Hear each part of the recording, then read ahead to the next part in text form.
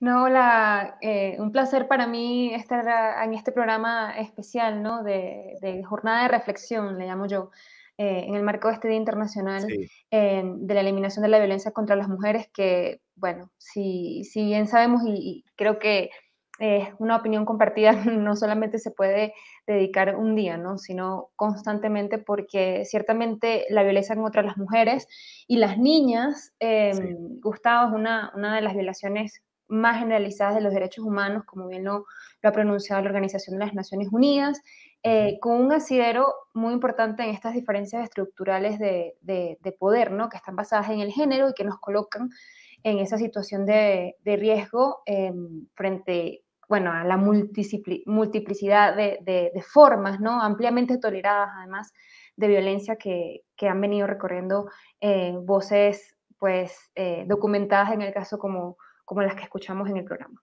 Crismar, eh, en este recorrido que, que, fuimos haciendo, encontramos eh, muchos puntos en común, digo, algunos positivos relacionados con las luchas de los feminismos, eh, relacionados con estos puntos de contacto, de, de, entender cuáles son las dimensiones a tener en cuenta, a modificar, a transformar, pero en la parte negativa digo, no solo las conflictividades, sino los niveles de violencia, digo, que, que, en algunos países lamentablemente son similares, que trascienden a los sectores sociales, que, que impactan a los sectores más eh, pauperizados o empobrecidos de las sociedades, pero también a los sectores eh, más ricos. Eh, pero digo, por eso, esas líneas comunes, esos trazos comunes, y nos interesa volver a México para que tú nos puedas contar en cierta medida cuál es la situación actual, qué es lo que se está viviendo en México. No sé si hay algunos números, algunos datos que puedan ilustrarnos esto. Sí, Gustavo, bueno, justamente sobre, sobre la situación en México, porque recordemos que, bueno, estos dos últimos años han sido particulares, ¿no? muy específicos eh, por la situación de confinamientos, también de restricciones a la movilidad, de, mayor aislamiento, incluso el tema económico, ¿no? que ha tenido esta incertidumbre que, va a pasar. Eh, debido a la pandemia por el COVID-19, no solamente dejó en evidencia esta gravedad, la gravedad de esta situación no solo en México, también en todo el mundo, ¿no? Pero eh, creo que también generó condiciones para eh, esa impunidad, ¿no? Para la falta de acceso a la justicia, para lo que se venía comentando, ¿no? La revictimización también con graves consecuencias para nosotras, pues en, en esta necesidad de estar en pie de igualdad en una sociedad.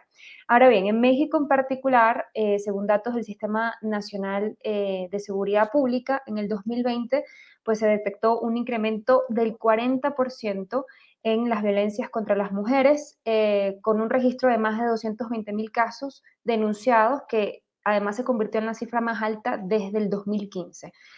2021 no ha sido la excepción hasta datos de mayo, o sea, desde enero hasta mayo, los primeros cinco meses del año, el aumento fue de 4% en comparación con la, el mismo periodo de, del año anterior y eh, pues episodios de violencia eh, a más de 400 mujeres solamente en esos cinco meses eh, que fueron asesinadas por, por razón de género. Así que yo creo que más allá de la gravedad de estos datos que son, bueno, aterradores, hay dos cuestiones elementales para poder hacer una lectura eh, pues adecuada de toda esta situación, no solo en México, pero en todo el mundo, y es que lo que se comentaba, a, a pesar de que hay, hay incrementos en, en, la parte estadística, estas cifras son pinceladas, básicamente, porque en México, por ejemplo, la, más de la mitad de, de, de los de estos delitos no se denuncian en lo absoluto, así que el subregistro es incluso eh, mayúsculo, ¿no? Es mayor y que además de, de, todo esto, más allá de los números, hay algo importante y es que las mujeres y las niñas víctimas de violencia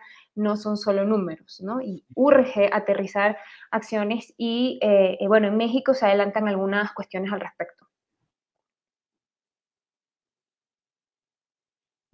Ahí a ver si me estás escuchando, 40% más, me quedo muy impresionado con ese número porque es dramático y vuelve a plantear cómo, eh, primero, eh, es tremendo las cifras de violencia que sigue, se siguen dando, que la pandemia transformó la situación en algo posiblemente mucho más grave en algunos casos, sobre todo transformando los hogares en los lugares más inseguros para muchas mujeres. El quédate en casa, lo que planteaba Karina en varias oportunidades, el quédate en casa para muchas mujeres era de riesgo atroz y absoluto. Y ahí en ese sentido, y lo hablábamos con Dora Barrancos al inicio, digo, las acciones de gobierno, las legislaciones, los planteos gubernamentales son fundamentales no solo para normativizar esta situación, sino para tratar de evitar por lo menos una parte, sin poder meterse dentro de las casas, pero tratar de generar legislaciones que por lo menos bloqueen una parte. Digo, ¿qué pasa en México con eso? Bueno, em, hay una situación eh, ambivalente en algunos aspectos. Digo que, desde el gobierno se ha reconocido el agravamiento de, esta lacra, ¿no? Y desde las instancias pues, del gobierno también se han reiterado la necesidad de, llevar a cabo estos planes que, por ejemplo, incluye un gabinete eh, de género eh, para avanzar en la, en la agenda de, los derechos a las mujeres.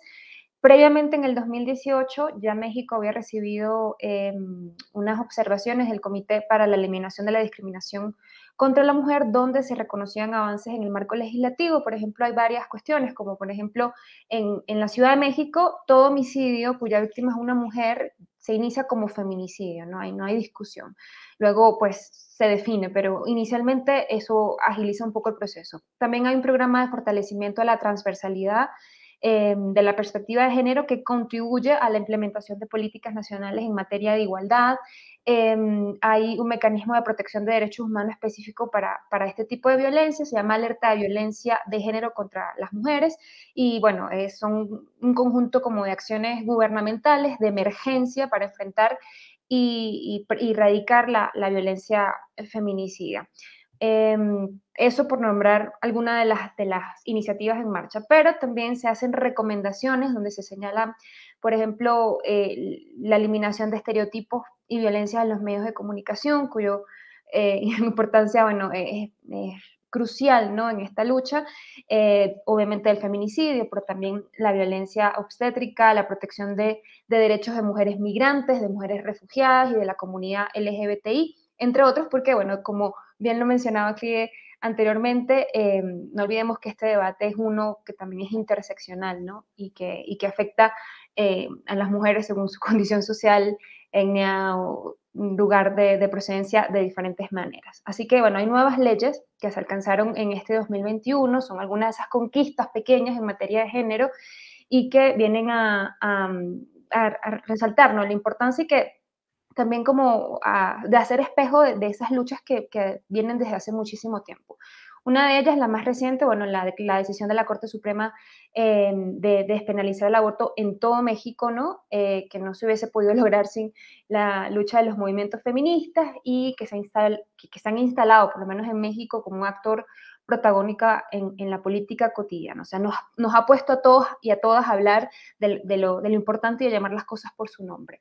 Em, también se alcanzaron algunas reformas que se establecen frente a episodios de violencia machista muy específicos, como la ley Agnes, eh, que reconoce el derecho a la identidad de género autopercibida y es en memoria de Agner Torres, una activista transgénero, transgénero que fue asesinada en el 2012 y la ley Olimpia, eh, que está tipificada para reconocer la violencia digital y sancionar los delitos que violen la intimidad sexual ¿no? de las personas a través de, medios digitales, que también se conoce como ciberacoso. Así que, bueno, por lo menos en esa muy específica también, y bueno, como la ley Agnes, creo que no solamente eh, son conquistas para el conjunto de, mujeres, sino para, para, una sociedad ¿no? más igualitaria y más justa. Em, Así que bueno, son esos algunos ejemplos de, cómo hay avances en el abordaje institucional de la violencia contra las mujeres, pero que todavía queda muchísimo por hacer y aprender en materia de implementación de estas medidas en los ejes de prevención, de atención, sanción y también reparación de la violencia en contra de las mujeres y las niñas.